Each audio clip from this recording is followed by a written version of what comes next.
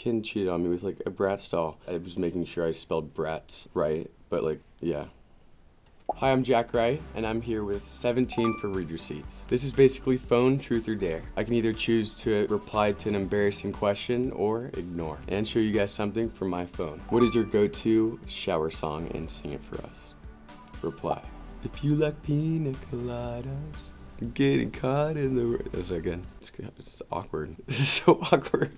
If you could star in any superhero movie, which one would you choose? Reply. Maybe like Thor. I think the actors are sick.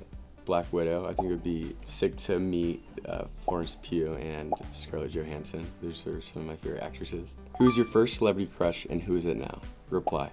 Zendaya and Selena Gomez in like their like Disney Channel era.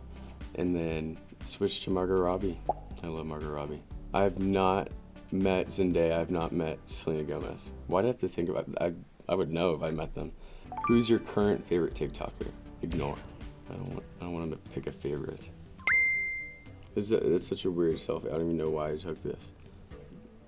This is the, this is the photo. I don't know what I was doing. Where do you feel the most creative?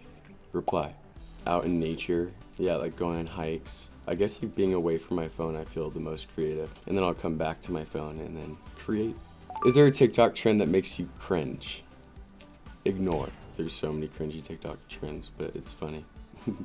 Last thing I googled, that's scary. This is, this is so weird, but I dressed up as um, Ken, Ken the the doll, like from the Ryan Gosling Ken. It's Bratz dolls because because there's like this sound on TikTok and it's like Ken cheated on me with like a Bratz doll, and I didn't. I, I was making sure I spelled Bratz right, but like yeah.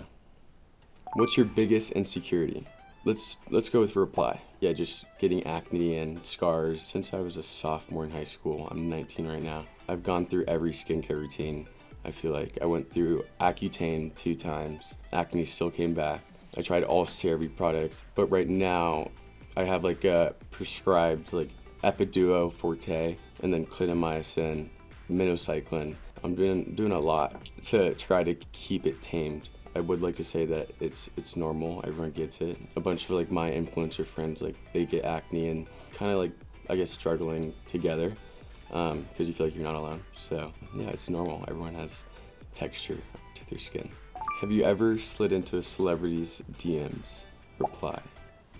Jamie Jamie Bower from Stranger Things, like 001. I don't know, he found out about like one a video I made like dressing up as like 001 Vecna and I DM'd him just I didn't think he was gonna answer, but I started saying like Vecnussi a bunch. He made a video about it and like he's like, where, where, what even is a Vecnussi? Which I'm not gonna explain that, but yeah, I thought it was pretty funny. Which actor has influenced you the most?